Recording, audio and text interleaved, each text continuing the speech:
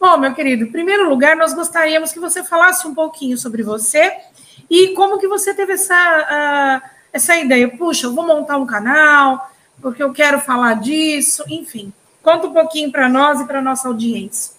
Então, meu nome é Marcos Vinícius, eu sou carioca, eu estou com 60 anos e vou fazer 61 mês que vem.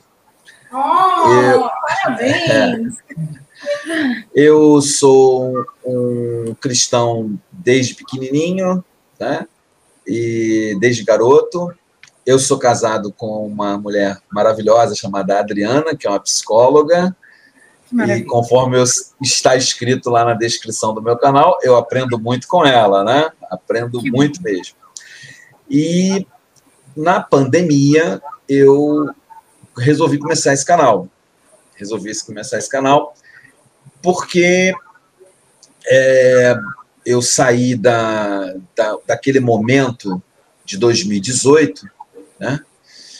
E 2018 houve um, um empate né, dentro do, do meio evangélico com tipo uma fratura, né?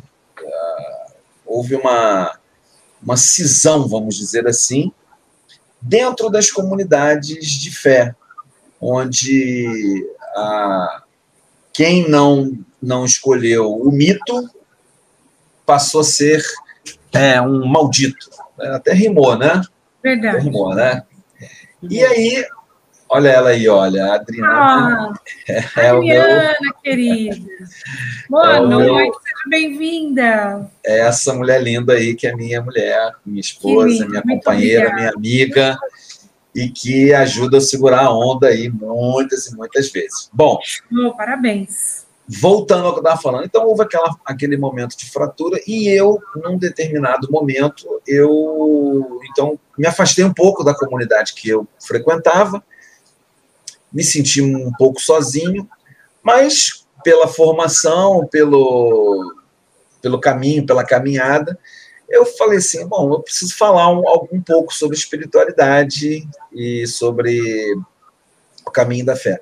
E o canal, no início, é, a gente tem, tem muita. Eu tive muita dificuldade de criar um, um, um perfil e um nome para o canal. Aí o canal no início chamava-se Para Tocar a Alma, era o nome do canal.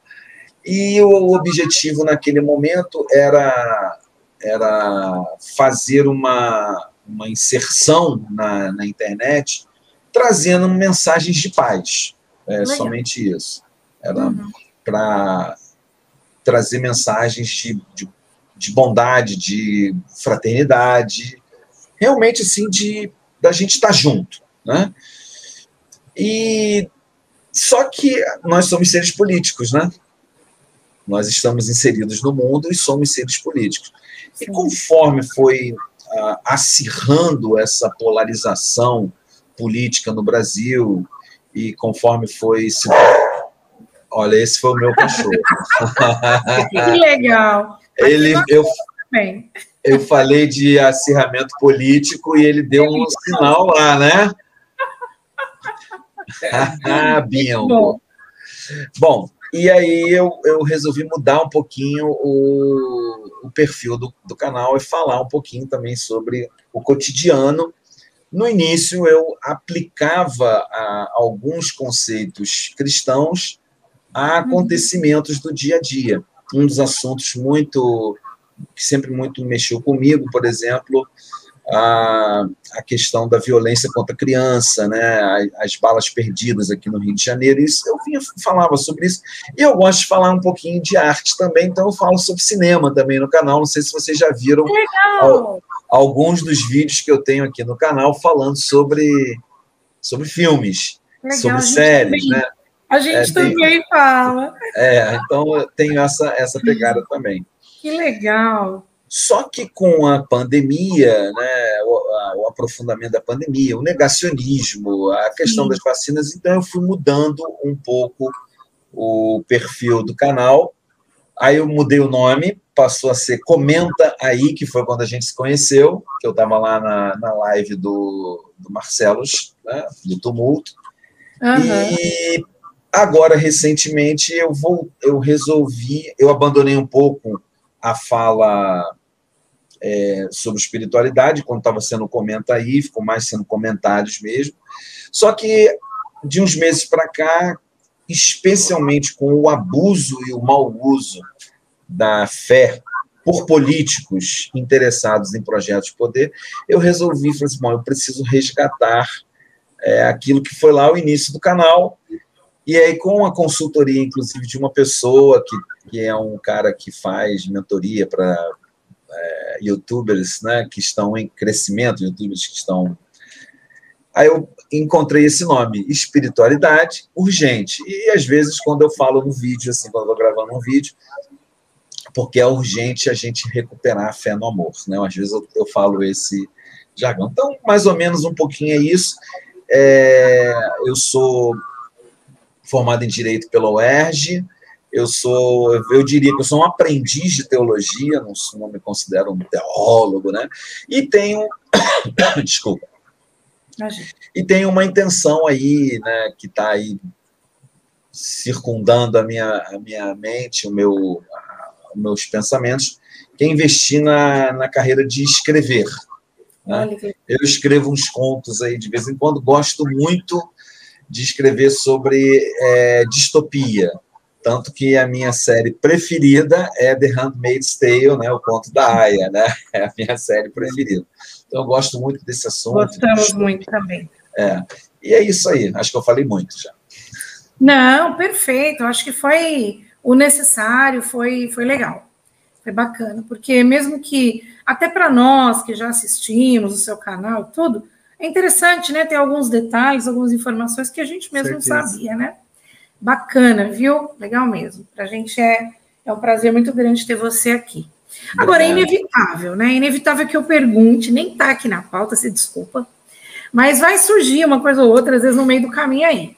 É inevitável que eu pergunte. Você, como cristão, por se posicionar, né, como você está se posicionando, tem sofrido alguma discriminação, sei lá, alguma repressão por parte dos seus, é, é, é, como é que eu vou dizer?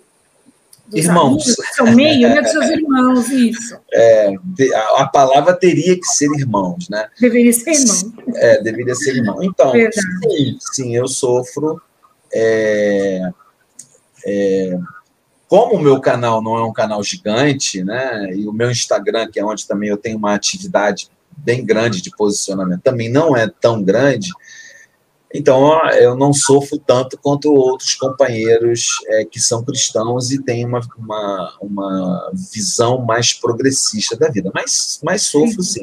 Principalmente a, a gente sofre crítica é, que não tem nada a ver com nada, né? Então, por exemplo, é, deixa eu tirar o óculos só um instantinho. Por exemplo, é, o fato de você dizer assim, eu vou votar é, nesse candidato, candidato Lula, e eu sou, eu tenho um pensamento mais progressista. Ah, você é um, um abortista. Você é um defensor de maconheiro. E aí eu falo assim, então me diz o seguinte, então você é um torturador? Né?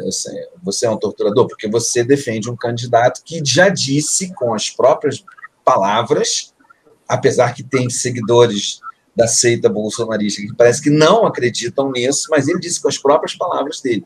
Torturou pouco a ditadura, tinha que torturar mais, tinha que. Para, Bembo. Ele quer participar da Ele quer participar da live.